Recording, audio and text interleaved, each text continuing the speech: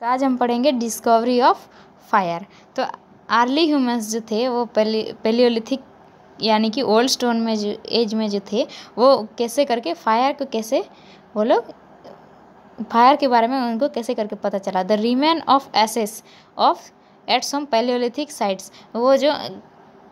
Sides के assess मतलब उनके अंश विशेष से उनके बारे में जो पता चला है, उससे हमें ये कंक्लूजन मिलता है कि that fire was known to the palaeolithic man यानी कि पेलियोलिथिक एज में ही फायर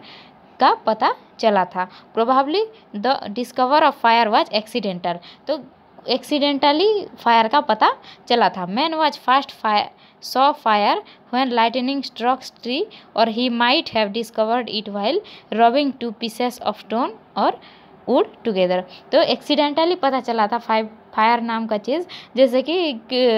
अगर कभी बारिश हो तो लाइटनिंग तो वो जो बिजली चमकता था आसमान में, उससे फायर पता चलता था या फिर जब बहुत ज़ोर से बारिश होता था या फिर साइक्लोन जैसे होता था तो पेड़ में पेड़ घिस कर वहाँ से भी बहुत आग निकल आता था या फिर वो जब भी वो लोग पत्थर से कोई सामान बना रहे होते हैं तो पत्थर से पत्थर अगर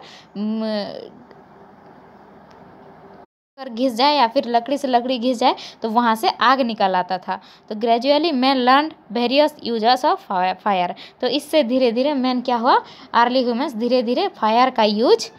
या फिर फायर को कैसे करके, किस काम में यूज़ करना है वो सीखा। They were as follows fire fire could protect him from wild animals fire जो था उन्हें वाइल्ड एनिमल से बचाता था, आग। It could keep him warm by providing heat and light आग जो था उन्हें हीट एंड लाइट देता था। It could help him to cook food and roast meat यह उन्हें खाना बनाने में और मांस जो खाते थे, उसको रोस्ट करने में यानी कि जलाने में उनका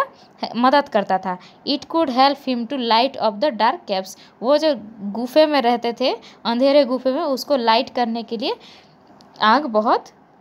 मदद करता था। Invention of wheel the wheel was one of the most important invention of the old stone age old stone age का का एक बहुत ही इम्पोर्टेंट इन्वेंशन है wheel though early wheels were not that smooth and technical circular as that of modern times अभी जो हैं wheels जो हैं वो बहुत स्मूथ है और टेक्निकल सर्कुलर हैं। भले ही उस ज़माने का व्हील्स वैसे नहीं थे, फिर भी वो बहुत यूजफुल थे। Still they proved to be very useful they were made out of tree trunks बड़े बड़े ट्री के ट्रंक्स जो होते हैं, उसके अंदर से, उसको काट देने से जो राउंड हिस्सा मिलता था, उसको व्हील्स के जैसे यूज़ करते थे।